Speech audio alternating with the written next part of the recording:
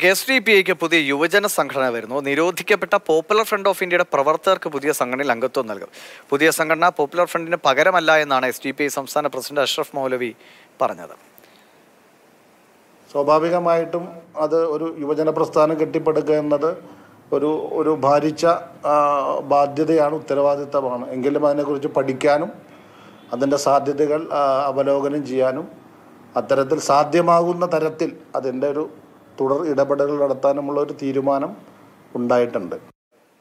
മുഹമ്മദ് ഷഹീദ് വിവരങ്ങളുമായിട്ട്. ഷഹീദ് പ്രവർത്തനങ്ങളുടെ പേരിൽ നിരോധിക്കപ്പെട്ട ഒരു സംഘടനയിലെ ആളുകൾക്ക് അംഗത്വം കൊടുക്കാനായി ഒരു യുവജന സംഘടന ഉണ്ടാക്കുമ്പോൾ പിന്നെ എന്ത് മാറ്റമാണ് പ്രതീക്ഷിക്കേണ്ടത്?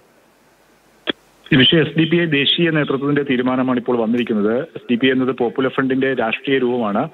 എസ് ഡി പി ഐക്ക് കീഴിൽ ഇപ്പോൾ വുമൺ വുമൺ എംപവർ മൂവ്മെന്റും ഒപ്പം തന്നെ എസ് ഡി ടി ഇവരുടെ തൊഴിലാളി സംഘടനയാണുള്ളത്. ഇപ്പോൾ പുതിയ യുവജന സംഘടന രൂപീകരിക്കാനാണ് ഇപ്പോൾ തീരുമാനിച്ചിരിക്കുന്നത്.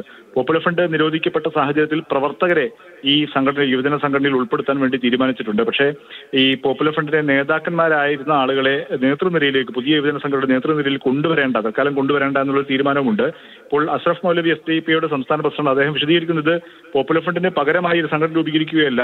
നേരത്തെ തന്നെ ഇത്തരം എസ് ഡി പി ഐക്ക് യുവജന സംഘടന രൂപീകരിക്കാൻ നേരത്തെ രണ്ടായിരത്തി ഒന്നിലും രണ്ടായിരത്തി ഇരുപത്തി ഒന്നിലെയും ഇരുപത്തിരണ്ടിലെയും പാർട്ടി യോഗം തീരുമാനിച്ചിരുന്നു. ശരി എന്തായാലും എൻ ഐ ഐയുടെ ഒക്കെ കൃത്യമായ നിരീക്ഷണമൊക്കെ നടക്കുന്നതാണ്. ഈ രൂപീകരണമൊക്കെ എങ്ങനെയാണ് മുന്നോട്ട് പോകുന്നത് നമുക്ക് കാത്തിരുന്ന് കാണാം. ഷഹീദാണ് വിവരങ്ങൾ നൽകിയത്.